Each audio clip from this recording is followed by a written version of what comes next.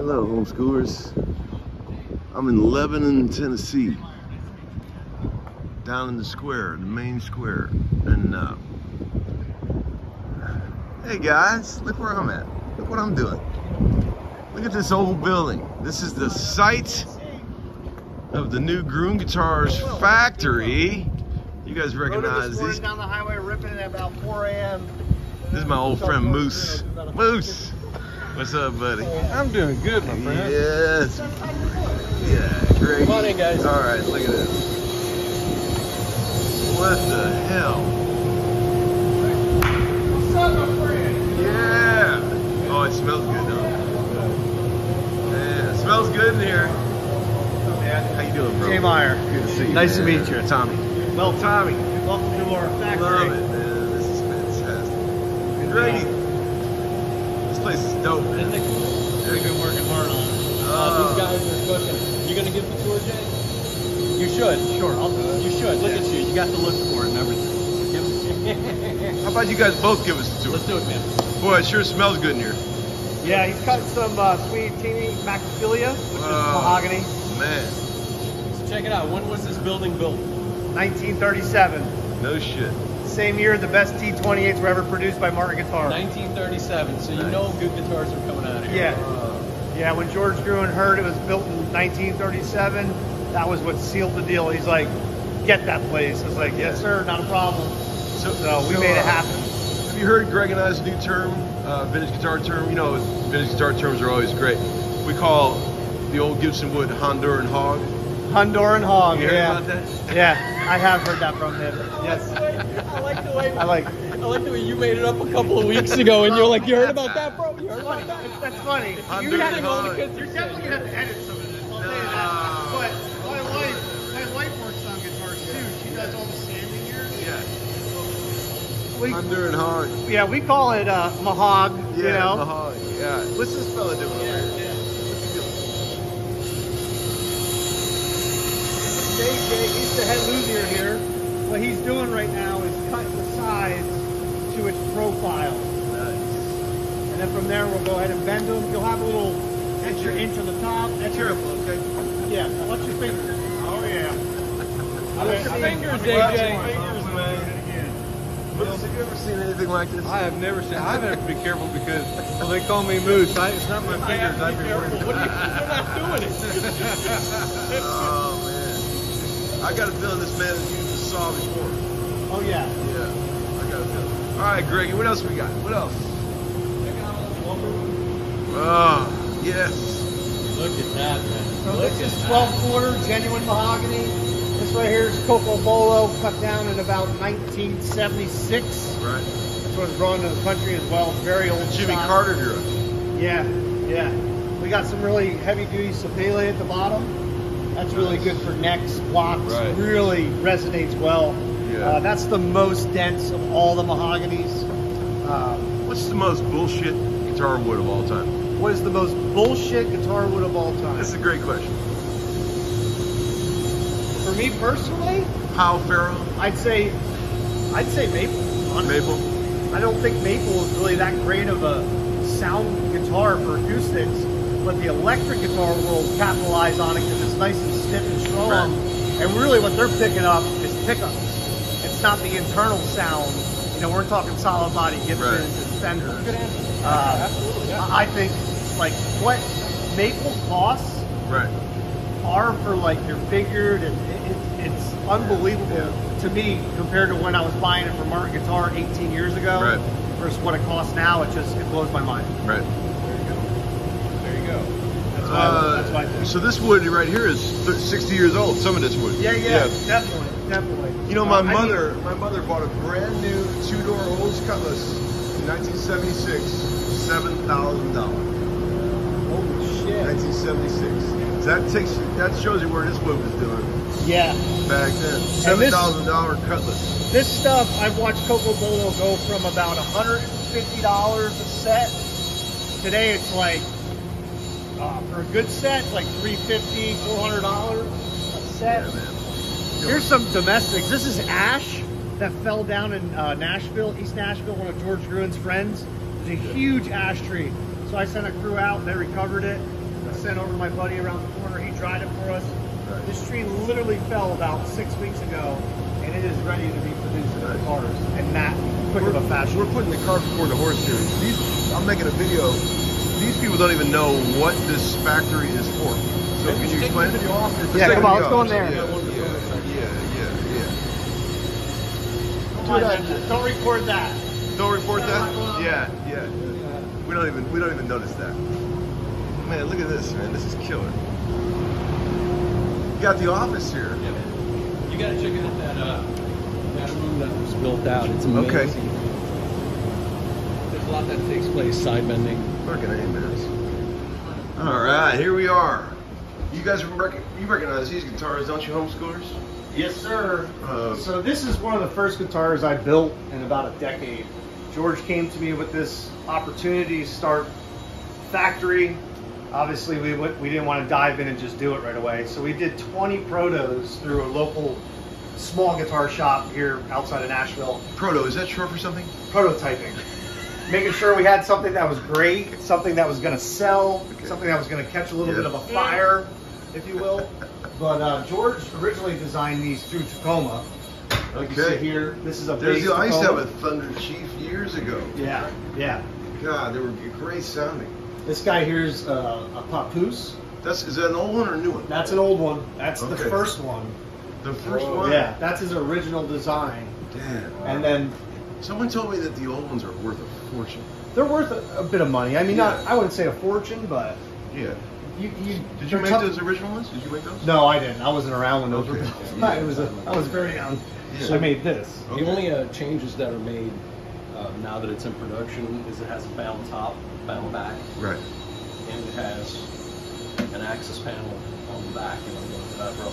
Yeah. So one of the biggest things that we were racking our brain on Yes. is how are we going to get in this guitar to a fix it if a brace popped loose or broke, um, Right. and or electronics because Right. a lot of Right. players might not like what I like or what Greg likes or what you like, right? So the only access hole at this point is this little sugar Right. bottle. deal. Right. Right. When you, when you actually have, not to interrupt you. I'm No, sorry, you're good, you're good. When you actually have a sound hole on it, um, you can work inside of the instrument. In its entirety. through the sound hole. If you have uh, F holes, two smaller F holes on either side, you can do the same thing, and that's cool. But you're not going to wind up installing under the saddle transducer pickups and an arch top with F holes in that way Right.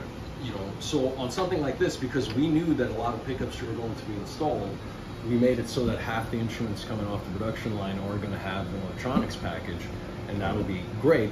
But if someone wants to add that package after the fact, we can't, you know, we can't have luthiers being experimental with how to install pickups, and we can't do every single pickup install on the instruments that we sell. So these guys, AJ and, and, and, and Jay, went ahead and uh, did a really smart system, which you'll see on the production models of a of a door that comes off that you can actually put your hand all the way in to do all the repairs needed for bracing, clamping, whatever you have, and it looks amazing. I, I, Yeah, it's really clean. It allows you know repairmen, luthiers to get in there, do what they have to with either installing electronics. You know, things happen. You know, people Right. don't always humidify their guitars right, so they'll crack something, they'll crack the seam or mess up the, the, the bridge plate. So you need to get it in there. And that was the number one thing we started on when we got here was how are we going to access this, and that's how we came Yeah, over. these things sound good. It's Uh, good. And that was, Is that, It's it's not even a year old yet. Um, that was last summer I built that, last July or August. So Try it out, Moose. See what, see what it's got. Give us a couple. Give us a little Hank Jr. Got some older strings on. Yeah. All my rowdy friends are coming over tonight. It's way too low. Dude. You're Very witty. Nice. sounding. Nice. Yeah, man. Nice, man. So you built that one. yeah, I did the body. My wife did the neck. Right. That's awesome, man. So when is this, all this shit gonna be ready to go? I know we're still in the early stages. We are in the early stages, but for three, three and a half months, we were really happy to be where we're at. Uh, a lot of stuff had to come and fall into place. I mean, literally, the last machine is supposed to come in today. We are processing parts. We're, um, you know, getting inventory numbers up. Uh, we'll be processing bodies next week and next by the end of the week. Nice. Um, actually, you guys will probably see the real first run of four necks at one time on our CNC machine. Uh, we've been working on that this whole last week. Where are these guitars going to be available? And what are these guitars going to be called? Do you mind if I pick this? Great question. up, or is Oh, it- Get on it. The um, it's George Gruhn, uh, his model of instruments. This has been his baby for 30, 40 years. 40, 40 years. He's owned the design patents um, ever since uh, he designed it for Tacoma.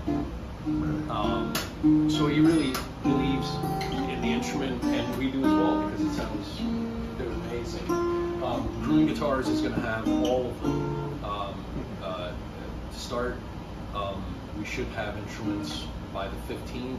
So by mid to by middle of June, they will be available for sale. I would imagine by the last week of June, we should have And available 15 to uh, on the website. On the website and at the store. At the store. What can a man expect to pay for a guitar like that? Like a full size uh, It'll be it'll be under twenty five hundred dollars Right. with electronic package and Right. a case. Right. Yeah.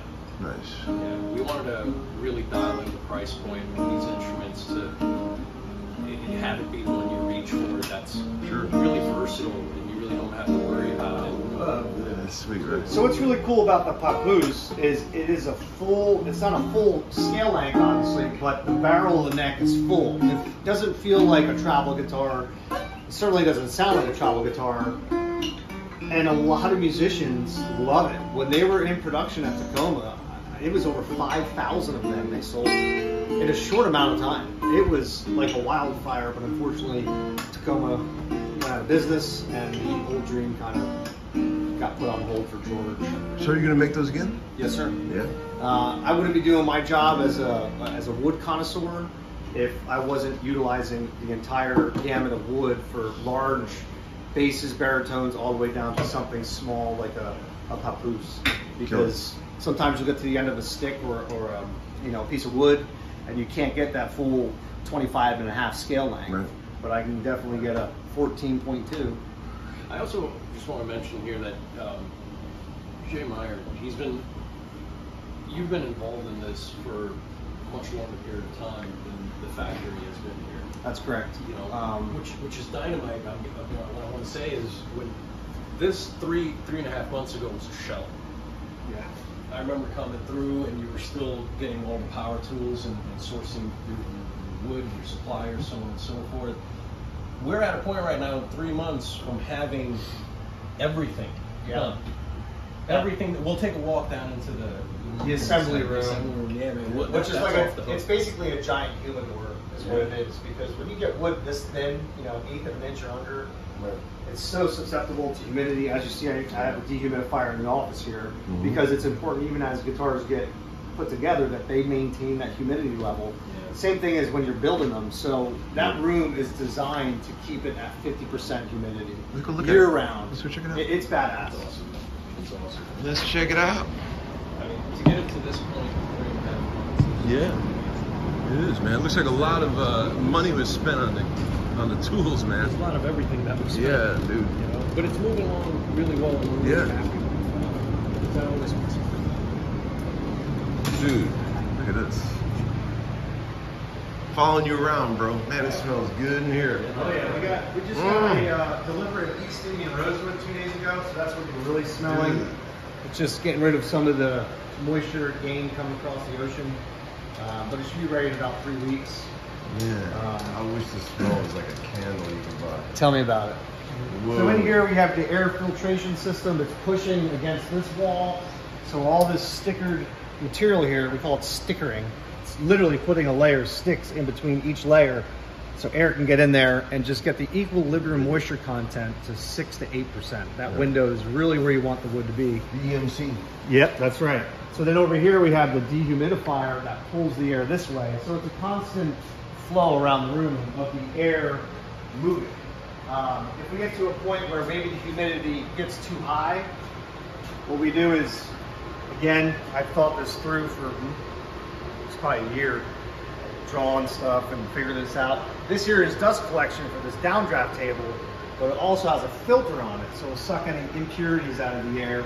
So we turn this sucker on and it'll pull the air around the room even more.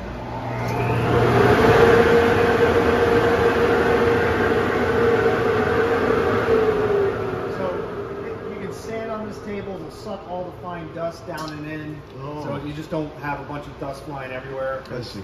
That'd be really bad for the person. I was wondering, like, there. look, yeah, it's all all the dust goes in these holes. Yeah, yeah, and we'll plug up more of these, and it'll just be like one small workstation for one person here and one person here, kind of working shoulder to shoulder. Right, right. And that's how you get your best vacuum. Wow, Um, my kids would love that. Yeah, That's like a fun game play. That's a super cool, man. Awesome. Whose guitar is this? That's uh, Gruhn Manufacturing. Actually, a gentleman Wow. came in with it. And I phoned George, and he said, "Just buy it." I said, "Okay." Nice. Very It's cool. a 1924 single 018. So, uh, what's all this shit over here? This is a vacuum stand. Flip the switch. You put your body, your guitar body, right on here, and it'll suck there and stay there as long as the power stays on. Really? um, oh yeah, yeah. It's pretty strong. You put a body right up against it? Yep. And then you don't have to clamp it or nothing? No, now it's just air right here, and then this gasket around. Crazy. Can you show us? Um, yeah. AJ, come here. Can you show this real quick? Yes, sir. I never, really, I never, I never seen such a damn thing. I can probably figure it out. Sorry to interrupt you, bro. Oh, you're, oh, you're fine, brother. No. Yeah. We're just, we're just amazed by this modern technology. Well, it's black magic is what it what it all crazy. comes down to. What do they call that thing? What's the name for it? Uh, vacuum vice or panavice. Uh, it's got it's got several names. So you so you've got a valve on the back that either shuts the air off or let, or lets it in. Just take your body right up to it. Hold it for about a half second. And it's not going anywhere. You can sand, scrape, route ducktails, do do whatever. You cannot pull it off there. I mean, I probably could if I would root down. You know? No, And you would, uh, you would no, break you'll, his no, you'll pull the top off first. brake section go back here. Huh, yeah, yeah. That valve. You literally would pull the top off first, trying to get up. I bet Greg can pull it off there. Give it a shot. This is pretty amazing. This is So, I mean, like that. I mean, I know nothing about this, so forgive the completely idiotic question. Sure. Doing it that way is better than just Holding it. hold. I guess so. If you have it There- what, what would be the the- old way of doing this? Uh, the old way would either be clamps on the bench Right here. To, hold, to hold it somehow, or Right. uh, or they had what's called a troji. It's a It's one of like a- these? a, big vice with foam. right, and that would just smash Yeah. the door. right? Yeah. Yeah. Yeah, or you can use a big vise. I mean, those are typically used for necks now. really amazing. How cool this room looks. Isn't it awesome? Well, yeah, we got, we did this, we did this in six weeks. We built this room. We had a contractor tell us it was going to take four months and about eighty-five thousand dollars, and it took us six weeks and about twenty-four thousand. Jesus. Can we can we mention that contractor's name? What do we got here? Run him out of town. So up here we have uh, a bunch of Brazilian rosewood, uh, Dalbergia nigra, um, fingerboards and bridges that I've been sitting on for, oh God, probably a dozen years or so. So these are going to be made for special clientele and also um, people associated with Gruhn guitars slash Gruhn manufacturer. So, So- when you inlay, just make it say Uncle Larry. Uncle Larry. Right up We front. can do Very cool. that, no doubt. We can do anything. I can do anything. One of my uh, one of my good buddies, he runs Pearlworks. He owns Pearlworks up in Maryland, Yeah, so yeah. he would love to help us out in any capacity. This stuff is crazy jet black because this is the rare uh, East Indian ebony, Wow. which isn't easy to get out of the country. Thus, I mean, See, this is this is the ebony that, that I always talk about. oh, this is the Black. this is the cat's This is it. This is This what is it. everybody wants. Typically, your Gaboon and is it. Cameroon ebony would be about twelve dollars a fingerboard. Right. This will run you today about eighty-five to hundred dollars a board.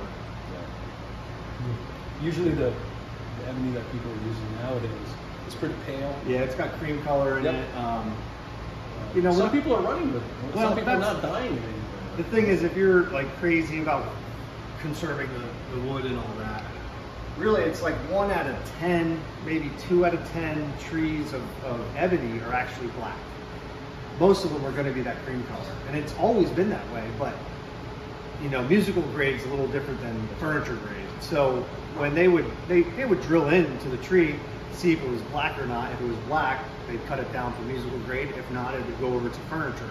You know, that world. I didn't know that. Oh, so yeah. not all yeah. ebony's black. Uh, So is it is the white stuff not as desirable?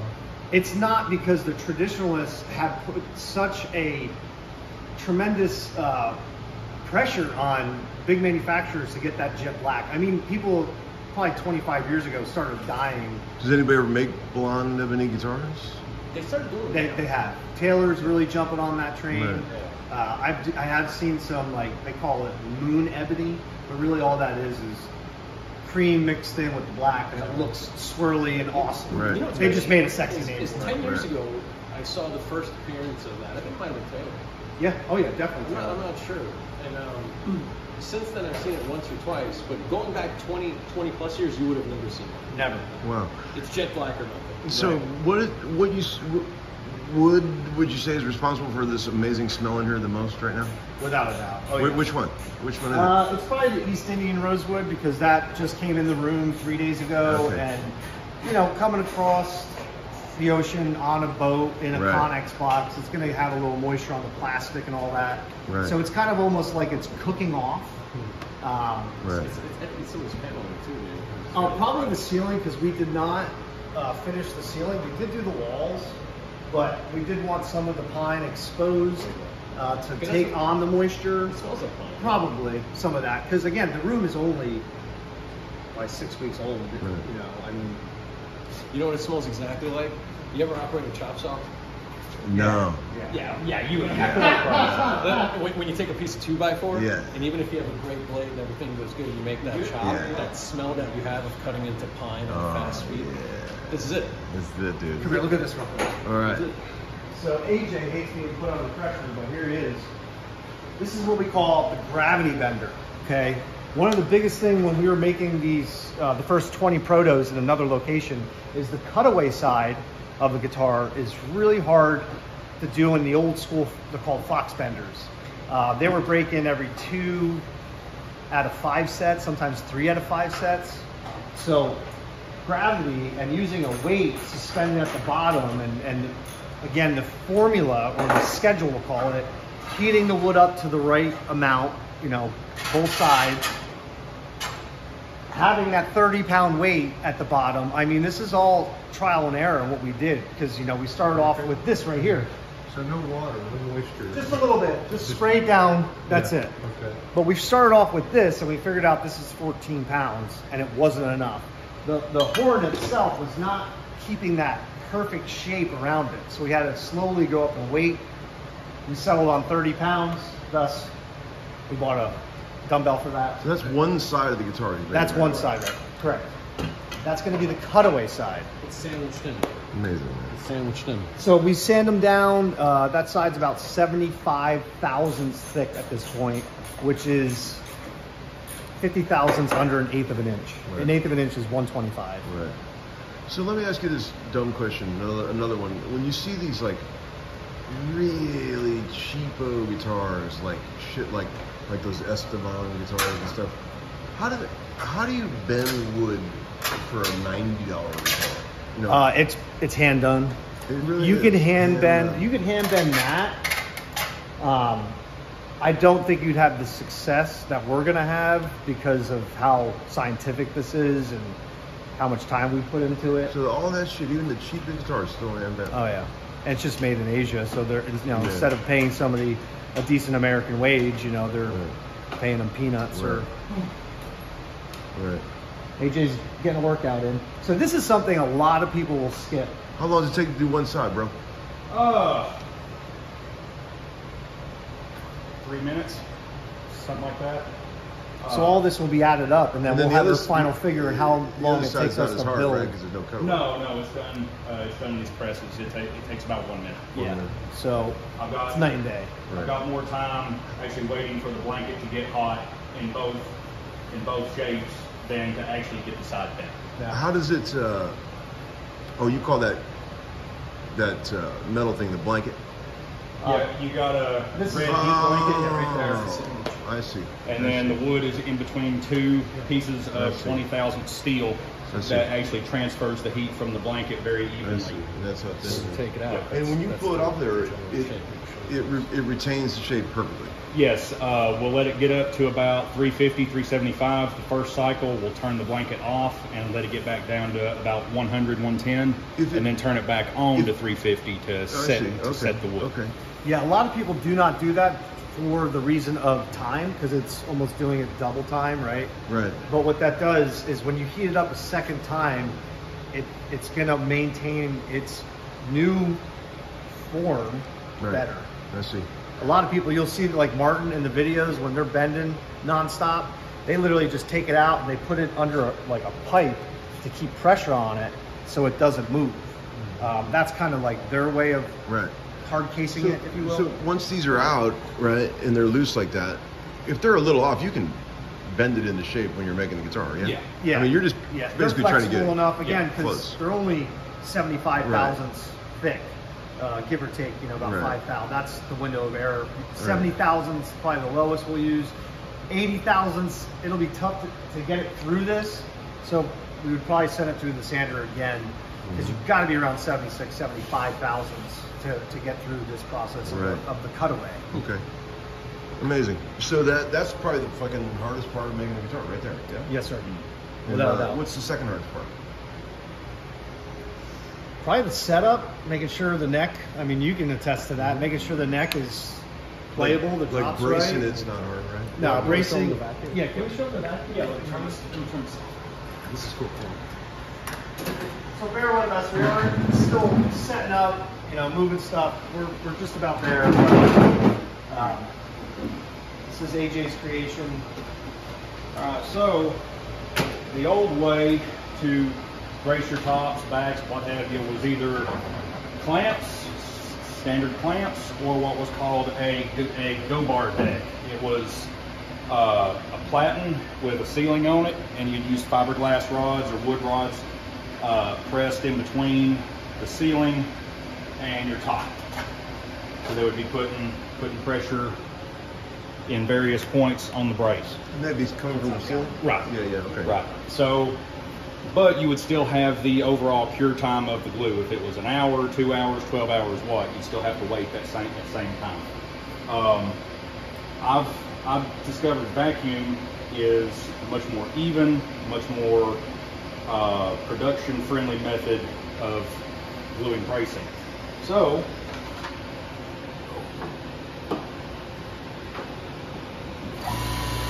what we've got, we've got two valves on these plates, and the plates are the same radius that the top and the back will be. We get the top in, we'll open this first one, and it sucks the top in so that you can't move, and makes getting the free radius brace on much, much faster, much, much easier. And then, once they're in position, take the platen, find its center, open this valve, and it draws out all the air, pulls the gum rubber sheet down, and clamps everything with the soul crushing power of the atmosphere. It's like the hmm, press shit. What, what are those called? Where Food saver. Yeah, yeah, it's like yeah. that, right? Isn't Log it? saver, yeah, like that, yeah. But it uh, it cuts our dry time down. Um, Can I feel that? Yeah, yeah, do it. uh, Wow. So the, Feels like uh, a drum head. The uh, glue that we'll use for all the bracing is is a fish-based glue. It's very similar to hot hide glue that everybody raves over, but it comes pre-liquid. You, you don't have to heat it, and it behaves the same way that hide glue does. It self-clamps as it dries. It becomes very hard, and tonal transfer is superior to say Titebond or other lock glue. And it's great on pancakes. I wouldn't, I wouldn't recommend it, but if you're if you're if you're for it, man, have at it. Love it. All right. But the vacuum technology, as it's sucking down Yeah. from the center, it's drawing out the moisture into these troughs. And as soon as it hits the troughs, under the power of the vacuum, it, it, it will vaporize. You designed this, right? Uh, partly. Right. I've, I've seen I've seen Right. various tools from other Right. builders and just kind of thrown it all into one. Um, Sure. But the added benefit of this with uh, the fish glue, you've got a 12-hour clamp time doing it standard. In this, you've got about a hour and a half. Shit. So it cut it cuts it down. How many of these can you do a day? Uh, with just with just two running, hour and a half to eight hour, uh, 12 maybe. But we're we- gonna have how many AJ? Uh, we're gonna have ten start, uh, to start off, and then we'll just go up as as uh, uh, as needed. So I Yeah. want I want I want twenty and twenty. Do twenty tops, twenty backs at a go. Uh, 85,000 people watching this. You guys need any employees? Anyone else? right now we're capped out, but I will be accepting more applications here in about two, three months. Okay, good. What do you need a guy to do? Well, we'll fill in the gaps when we get there. I see. I see. All right. Man, anything else? This is fucking awesome. And they're cool. It's But these are the guys, you know, Yeah. for the for the Gruhn model Yeah. acoustic guitars that are coming out. These two guys are, uh, you know, Yeah, man. two thirds of the Right. overall operation with regards to hands-on. So these are the guys, AJ and Jay are the guys um, building the instrument. Badass. These are all- Yep. they- they- yep. My wife, she's in here. She does all the pre-finished sanding on the bodies and the necks. Right. Yep. Gets that neck. You guys ever fight her. about that at home at night? Once in a while. Yeah. I, mean, I, can't believe the way you sanded them. Actually, she's uh, she's very meticulous at it, and she doesn't like talking to people, so it's really good for her to just get in the zone, listen to her music, and sand away. Yeah, the dinner's Um, fine, but uh, I can't believe the way you adjusted that neck. yeah, yeah, dude. One of the uh, I'm gonna use 220 grit yeah, right. I couldn't do it, man. I Yeah.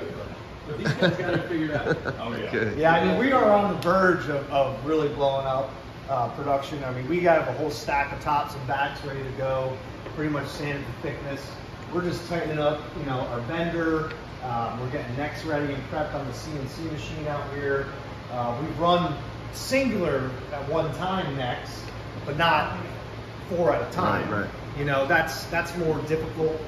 Um, you know, we have strategic goals set, and as we hit them, we will bring on more people Right. and, and justify the business Right. overall. Have you had any weirdo Lebanon drifters try to wander in here? Oh yeah, without a doubt. I had a gentleman come in my the back the back fence yesterday, and he's like, he couldn't speak English. I, I said, no, no habla español. And he pulls out his phone, he starts talking into it in Spanish, and it talks to me in English. Right? It was crazy. And Wow. he really he was looking for a job. Oh, okay. And I felt bad for turning him down because we just aren't at a spot to take Right, people I on. got. But I told him, I said, hey man, three months, come Right, back. come you know? back, yeah. So Awesome, um, dude. Let's go. Dude, and we do still uh, have people knocking on the door from the old business. Yeah. I think the guy was in a little trouble or something. Yeah. You know, financially. Because it's like, where the hell is he? And it's like, he doesn't live here anymore. Go Yeah. away. I wonder But, if uh, you racked up quite a bill than me. oh, yeah. And people like the neighbors, they're always trying to pop in because they see all the trucks coming and deliveries, and they're just like, what are you guys doing? Yeah. And now everybody knows we're doing guitars, and we're kind of the talk of the square now. I saw you got a cool little grocery across the street. Oh, yeah, yeah, Yeah. yeah, it's real hip. uh, Yeah, that's nice. Dude, thanks for uh, showing us this. Uh, I, I wanted to see if he was going to do a CNC run. You could get a shot of the first one. We'll see Dude. if he's ready. Yeah, Let's do it. I can pause it. We'll do that in a minute.